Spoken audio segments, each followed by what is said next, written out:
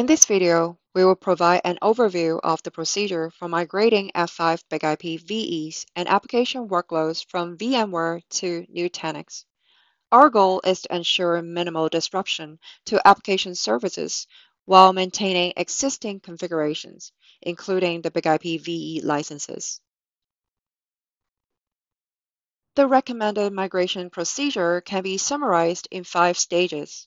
First, in stage 1, we'll deploy a pair of BIG-IP VEs in Nutanix. Next, in stage 2, we'll migrate the standby BIG-IP VE from VMware to Nutanix. In stage 3, we'll failover the active BIG-IP. Then, in stage 4, we'll migrate our application workloads. Finally, in stage 5, we'll migrate the now standby BIG-IP VE, completing the migration from VMware to Nutanix. Let's get started with stage one. Currently, we have a VMware environment with a pair of VMware BIG-IP VEs in active and standby, along with application workloads. We'll keep this browser open throughout the video to monitor any application service disruptions during and after the migration to Nutanix. In this first stage, we'll create two VMs in Nutanix, Nutanix BIG-IP 1 and 2, and we'll keep them powered down for now. Moving on to stage 2, VMware BIG-IP2 is currently the standby BIG-IP. We'll start by setting VMware BIG-IP2 to forced offline. Next, we'll save a copy of its configuration and license. We'll save both files at a location that we can retrieve later in the migration process. Then we'll revoke its license. Once VMware BIG-IP2 becomes disconnected and inoperative, we'll disconnect all its interfaces.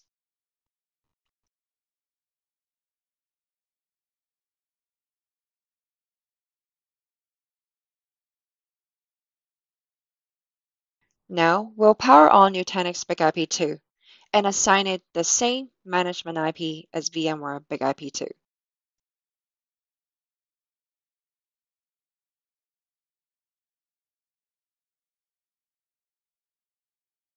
After Nutanix BIG-IP2 is online, we'll first license it using the same saved license from VMware BIG-IP2. Next, we'll set it to forced offline. Then we'll upload the saved configuration and load it with the no license keyword. While the configuration is loading, we'll open a separate terminal to Nutanix BIG-IP2 and wait for the message device ready for online to appear. Once it does, we'll set Nutanix BIG-IP2 to online.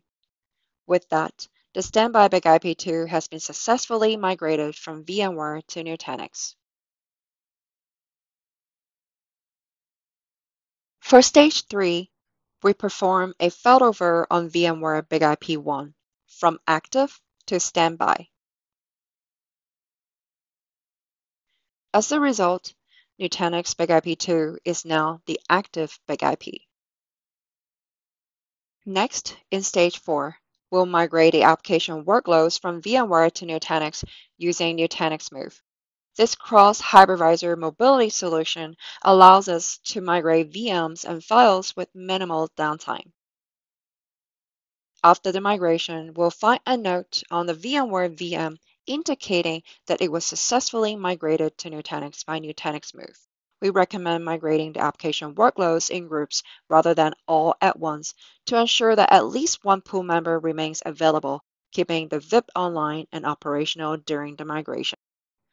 Finally, in stage 5, we'll start by setting VMware BIG-IP1 to forced offline. Next, we'll save a copy of its configuration and license. And we'll make sure both files are saved at a location that we can retrieve later in the migration process.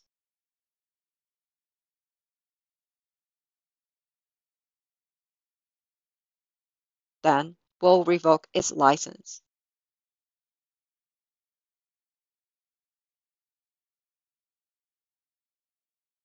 Once VMware BigIP1 is disconnected and inoperative, we'll disconnect all its interfaces.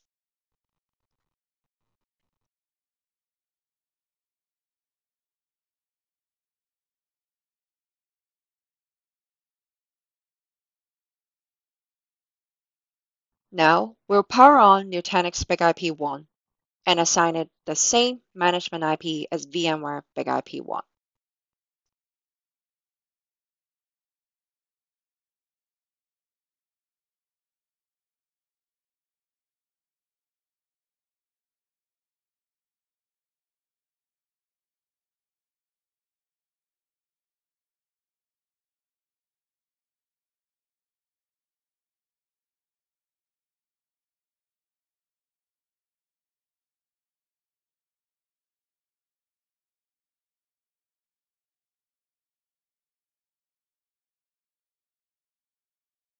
After Nutanix BIG-IP1 is online, we'll license it using the same saved license from VMware BIG-IP1.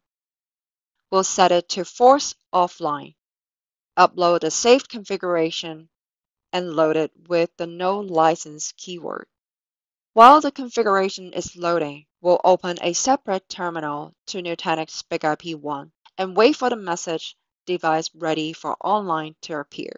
Once it appears, we'll set Nutanix BIG-IP1 to online. With that, the standby BIG-IP1 has been successfully migrated from VMware to Nutanix. Our migration is now completed. Both BIG-IP VEs and application workloads have been migrated from VMware to Nutanix successfully, and application services continue to function smoothly during and after the migration. For more details, please check out the technical article posted on F5 Dev Central. We'll provide a link to the article in the description below. Thank you for watching.